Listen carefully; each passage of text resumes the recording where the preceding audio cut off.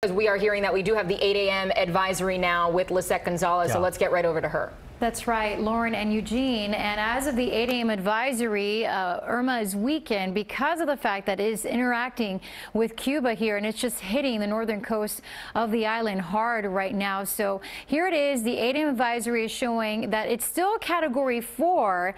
However, the max sustained winds have decreased to 130 miles per hour. However, the Hurricane Center is saying, and we're also anticipating that Irma, although it's weakening now because it is moving moving here over some of the mountainous terrain of Cuba, re-strengthening is anticipated because of the fact that it is going to likely be taking that turn towards the north and moving here into the very warm waters of the Florida Straits just north of Cuba.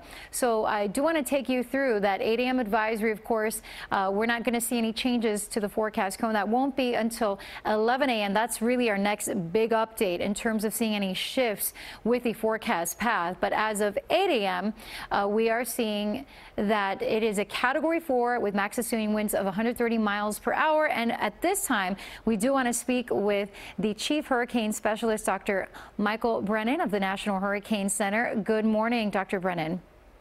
Morning.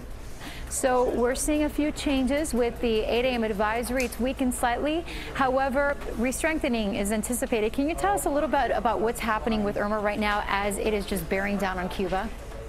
Sure. You know, the Irma is, has scooted along these islands here along the north coast of Cuba, and that's caused the cyclone to weaken a little bit. You can see the eyes a little less distinct, but it's still a very powerful hurricane, and its track over the next uh, day or so is going to take it back out over the very warm waters of the Florida Straits. And so we do anticipate some re-strengthening before it reaches the Florida Keys. But uh, I don't want people to focus on the fact that the winds, peak winds have come down. Irma is a very powerful hurricane. Uh, it has uh, hazards over a large area. And even here in south southeast Florida metro areas where you know, the track has shifted a little away from us, uh, people might be thinking that we're off the hook, but we're not. We're already starting to see those rain bands come in. The winds are picking up. Conditions are going to deteriorate during the day today. We're going to see a long period of sustained tropical storm force winds and several hours of hurricane force wind gusts. And I don't want people to forget about the storm surge risk. Down here from Boca Raton southward through Miami-Dade County and the Keys, you can see 5 to 10 feet of storm surge inundation. It's still a life-threatening situation uh, for people in that storm surge warning area. And if you've been asked to evacuate, uh, I hope you've done so at this point. Dr. Brennan, that is the one thing we have been stressing is that although parts of the southeast coast of the metro areas of South Florida are no longer included in the cone, uh, folks should not focus on the cone or where the center could be headed because we are going to see those impacts regardless since it is such a massive hurricane. Can you just talk about how this hurricane has sustained its strength and the fact that it is still going to be life-threatening and quite dangerous for much of the state of Florida? Yeah, I mean, the, the, one thing is the cone doesn't tell you anything about impacts. It only tells you where the center of the storm might go. And as if you, you can look on the satellite picture at how big Irma is compared to even the state of Florida. So as it moves up here and makes uh, landfall somewhere on the west coast, we're going to be on the east side of the circulation where actually the stronger, strongest wind field is. Uh, some of the heavy rains, all of that onshore flow is going to be pushing that water into that storm surge warning area. So it's, it's still a very, it's a life-threatening situation for many people in the southern, especially the southern southern two-thirds of the state of Florida. Uh, uh, uh, and people are going to want to take this storm very seriously.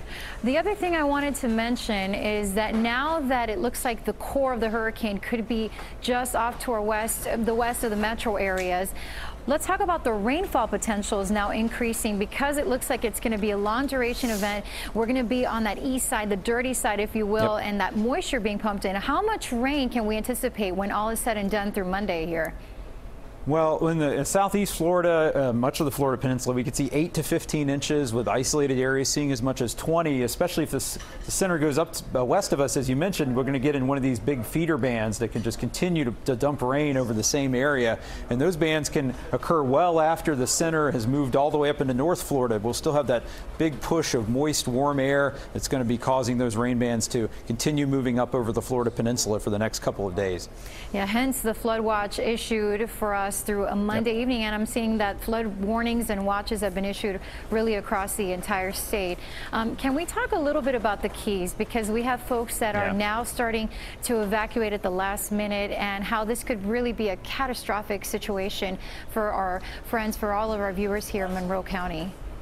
Yeah, nobody should be left in the Florida Keys at this point. Uh, life-threatening storm surge.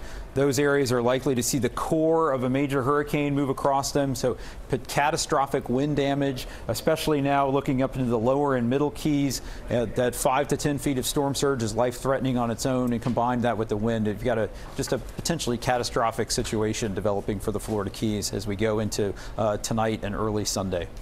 Now, it's probably not until late Monday that we'll start to finally see some improving conditions here across South Florida. Right. Yeah. Uh, by uh, by you know Monday morning, the storm is still going to be centered up here in Central Florida. We'll still be experiencing uh, very strong, uh, gusty winds, and that's when the rain is going to become a big threat, and even the threat of tornadoes will continue uh, through that time. So Irma is going to be with us here in South Florida for a couple of days.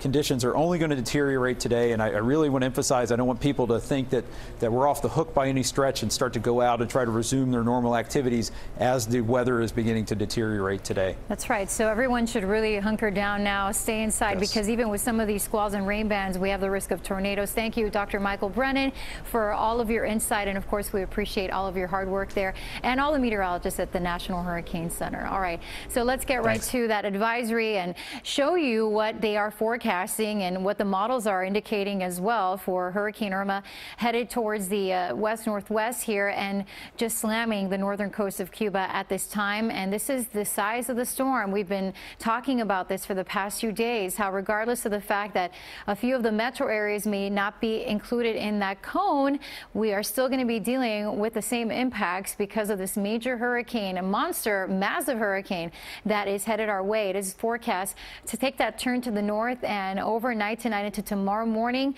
uh, we will likely be seeing that category four Hurricane Irma headed towards making landfall or just near here the Keys and then likely continuing northward and could be making another landfall or remain just offshore of the southwest coast as we head into Sunday afternoon and then late Sunday headed towards uh, the Tampa coast potentially as a category three hurricane continuing northward up the state of Florida across the Big Bend and the Panhandle as we get into Monday morning and it's not until Tuesday morning that we will see it become a tropical storm and weaken even more so by the middle to end of next week. That's when we'll finally finally see it become a depression or an area of low pressure, but not before making its mark across much of the state of Florida and even the southeast. So as we take a look at the highest threat for hurricane force winds, and that red shaded area is encompassing much of the western half of the peninsula right now, and of course the Keys. And as we take a look at what the models are indicating right now, most of them are really starting to come close together and indicate higher confidence in this forecast forecast track that Irma will move to the west northwest, then take a turn to the north. And that is what we're seeing with the European model, the GFS model, two of our most reliable models here, uh, showing that we are indeed likely going to see Irma uh, likely moving across the Keys and then potentially here along the west coast of the state of Florida. So let's go back to this idea of the fact that even though we are not included in the cone, we're going to be dealing with these squalls and the tropical storm force winds and potentially hurricane force wind gusts and hurricane force winds, certainly for the Keys. Uh, we're going to look at the wind fields and this yellow shaded area indicating the area where we're going to see those tropical storm force winds. The orange shaded area, hurricane force wind gusts, and then the red area, that is where the worst of the weather, the most destructive winds will be. The hurricane force winds uh, ranging from 75 miles per hour or even greater than that. Right Right now, we have reports in Cuba of some winds of 160 miles per hour. So devastating situation there, and it could be quite devastating as well for the Keys, as right now Irma is forecast to head towards the Keys. We are going to see tropical storm force winds across much of South Florida throughout the day today, but the Keys will start to deal with those hurricane force wind gusts as we head into the afternoon. And around midnight, 1, 2 a.m., that is when we'll start to see the core of Irma moving into the Keys, this red shaded area indicating the most destructive hurricane force winds. And then for the rest of South Florida, the metro areas, we'll start to see those hurricane force wind gusts and still dealing with the tropical storm force winds overnight. Hurricane force wind gusts possible for Broward and Dade County. The Keys will be dealing with hurricane force conditions and likely through the morning hours and even into the afternoon for the Keys. Unfortunately, I wish I had better news, but right now that's what the current guidance and models are showing us. And in terms of the metro areas here, Broward and Dade County, even into the afternoon, we will be dealing with hurricane force wind gusts. And then as we head into the evening, still the possibility of dealing with those hurricane force wind gusts. And then it's not until midnight that we'll start to see uh, that drift a little bit more towards the north and head into central and north Florida. So we're going to be dealing with the backside of this system. That's why it is expected to be such a long duration event. And we could be dealing with Irma here for the next uh, 24 to 36 hours. And the biggest threats continue to be extreme wind, life threatening storm surge, rainfall because we're going to be on the east side, at least the Broward and Miami-Dade County areas, and then down through the Keys, of course, we'll see the highest threat for storm surge and tornadoes also will be possible. Hurricane warnings in place for the central and northwest Bahamas, northern coast of Cuba, and much of the state of Florida. In fact, the southern half of the peninsula is under hurricane warning. Hurricane watches in place for the Big Bend coastline and also the northeast coast. So we do have the storm surge watches and warnings as well.